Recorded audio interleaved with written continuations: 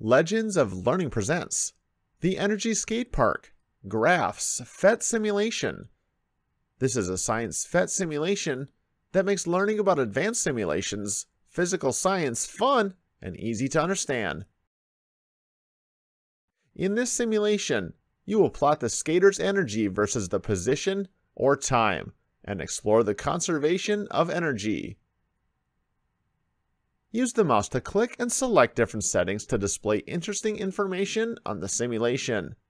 You can display a grid, reference height, speed, and alter and change the different factors for the simulation. Change the amount of friction, gravity, and skateboarder's mass by dragging and dropping the slider buttons to change the different variables in the simulator. Observe all the interesting data relating to the energy types present in the simulation for the skateboarder. You can reset every simulation and try many different combinations to help you learn more about science. Are you ready to accept the challenge?